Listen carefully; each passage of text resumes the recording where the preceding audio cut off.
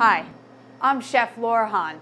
I'm a chef and blogger for Guilt Free Foodie Cutie, and today I'm here at Sweet Christine's Bakery in Kennett Square, Pennsylvania. Today we're making guacamole with edamame. Normally, guacamole is made with avocado, but to make it a little bit more healthy, a lot less fat, we're gonna actually use edamame beans. Now, obviously it's not gonna come out like your regular creamy guacamole, but we're gonna do our best to get it very similar.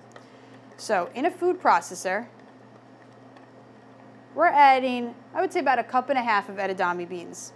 I bought these in the freezer section at the store. Just boil them for about five minutes and let them cool. Really simple. Now, you're gonna take a half of a lime and just squeeze all that juice out.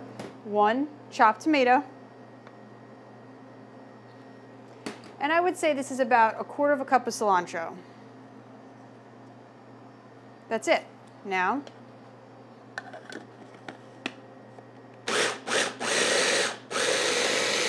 just let it go.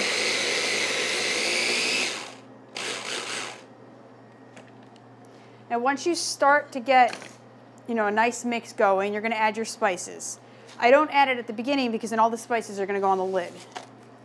So get some salt in there, a little bit of garlic powder, close it back up.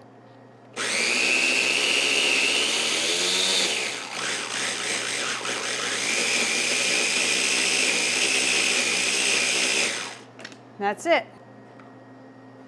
Looks just like guacamole. Take out your blade.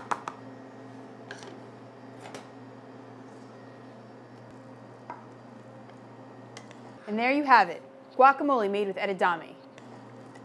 I'm Chef Laura, and I'm here today at Sweet Christine's Bakery in Kennett Square. Thanks for watching.